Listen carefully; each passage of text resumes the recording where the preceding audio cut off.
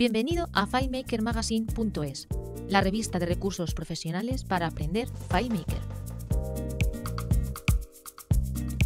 Saludos cordiales, soy Javier Durá y hoy vamos a hablar de la función choose en FileMaker. Empezamos. Quizá la función choose sea una de las grandes desconocidas de FileMaker. Hay muchos desarrolladores que llevan muchos años trabajando con la plataforma y que no la utilizan. Quizá porque no la conocen o quizá porque se puede vivir sin ella. Es parecido a lo que ocurre con la función let. Es muy práctica, pero puedes programar perfectamente sin utilizarla. La palabra choose es una palabra inglesa que quiere decir seleccionar o escoger y vamos a empezar el vídeo de hoy enseñando que nos cuenta la ayuda de FileMaker Pro 17 Advanced sobre la función choose. Si venimos a la ayuda, vemos que nos dice que choose devuelve un valor de resultado de acuerdo con el valor de entero de una prueba. No parece que sea un texto demasiado explicativo. Debajo nos pone un ejemplo. La novedad de la función choose con respecto a otras funciones de FileMaker es que está basado en un índice cero. Vamos a ver qué significa. Cuando yo utilizo la función choose, lo que hago es una prueba. Esa prueba me va a devolver siempre un valor entero. 0, 1, 2, 3, 4, lo que sea. Pues bien, FileMaker va a devolver el primero de los valores cuando el resultado de la prueba sea 0, el segundo valor cuando el resultado sea 1, el tercer valor cuando sea 2 y así sucesivamente. Puedo poner a partir de aquí tantos valores como quiera. Vamos a ver ahora un ejemplo de cómo podemos utilizar la función choose en nuestros desarrollos de FileMaker. Cerramos la ayuda. Tenemos aquí un archivo muy sencillo que he preparado para hoy, en este caso con el tema Regal Shades que tenéis disponible en FileMakerThemes.es. Aquí hay un campo, es un campo numérico que puede tener un valor de 0 o un valor de 1 es lo que llamamos en FileMaker campos booleanos. Si queréis tener más información sobre los campos booleanos, podéis ver el vídeo específico de campos booleanos en este mismo canal. Pues bien, mi objetivo va a ser tener un campo de cálculo que me diga si un usuario está activo o está inactivo en razón del 0 o el 1 que he marcado aquí. Vamos a Archivo, Gestionar, Bases de datos, tenemos aquí el campo Mi cálculo, hacemos un doble clic y ponemos ya nuestra función choose. Esta función choose tiene que hacer una prueba que devuelva un número entero. En este caso, la única prueba que va a hacer es irse al campo isActivo y ver el dato que pone, que siempre será un 0 o un 1. Vamos ahora a borrar esto. Si pone un 0, lo que va a devolver FileMaker es no está activo. En cambio, si pone un 1, va a devolver sí que está activo.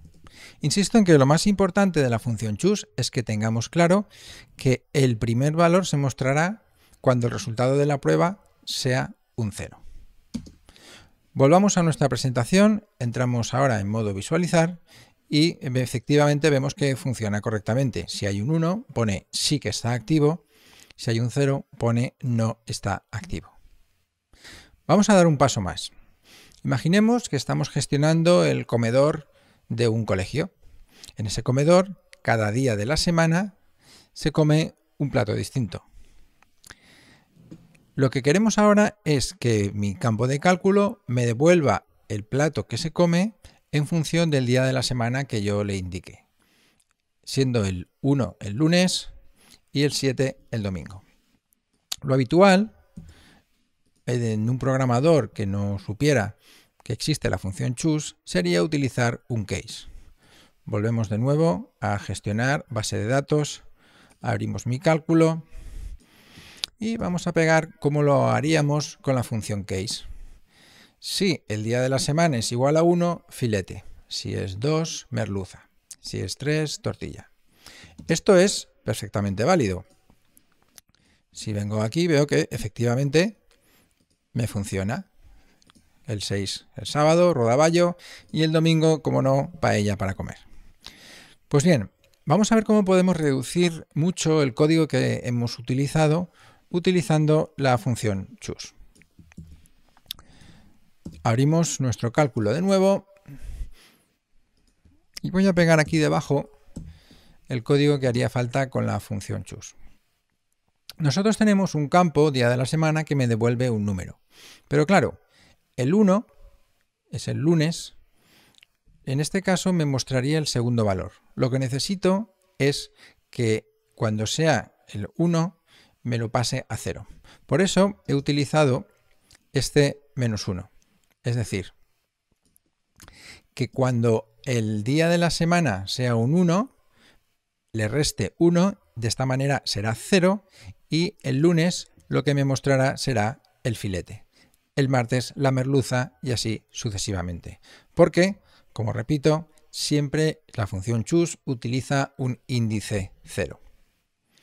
Fijaos la diferencia entre todo el código que he utilizado en la parte de arriba con el case y el código que he utilizado en la parte de abajo con la función choose. Una sola línea. Por tanto, es mucho más interesante utilizar la función choose para este tipo de cálculos. Vamos a ver si funciona. Aceptar, aceptar y efectivamente tenemos el lunes filete y el domingo paella. Vamos a avanzar un poco más. Y ahora lo que quiero saber es qué van a comer en ese comedor un día futuro. Yo no sé si va a ser lunes, si va a ser martes o va a ser miércoles. Lo que quiero es que me devuelva el menú del día en función del día de la semana que yo le indique aquí, dentro del campo mi fecha. Yo sé, porque lo he mirado, que el 28 de octubre de 2018 va a ser domingo. Vamos a ver cómo lo podemos hacer también con la función choose. Abrimos el campo de cálculo y aquí vamos a tener que utilizar una función nueva. En este caso, la función day of week. Lo que hace la función day of week es que me devuelve un número entero en función del día de la semana al que se corresponde una determinada fecha. Yo he puesto aquí mi fecha para que utilice la fecha que he puesto en ese campo y la función day of week me va a devolver en formato americano, esto es muy importante, el día de la semana. Formato americano quiere decir que el domingo será el 1, el lunes será el 2 y así sucesivamente. Por lo tanto, yo puedo utilizar perfectamente la función choose como lo estaba utilizando en el ejemplo anterior. Le tengo que restar 1 también para evitar que el hecho de que sea con un índice de 0 nos estropee nuestro cálculo, pero lo que tengo que hacer es mover la paella del final de la lista al principio de la lista. Dado que para los americanos el día 1 es el domingo, lo que he hecho aquí, como veis, es poner la paella la primera de la lista. De esta forma, cuando sea domingo, el 1 que me devolverá la función de of week, le resto 1 para que sea 0 y así ya me cogerá aquí la paella. Vamos a ver si funciona correctamente, esperemos que así sea, pulsamos aceptar y aquí lo tenemos 28 de octubre, si pinchamos el calendario vemos que es eh, domingo, si utilizamos el 22 vemos que es, eh, sale el filete. Y si utilizamos el 27, que es sábado, me muestra rodaballo.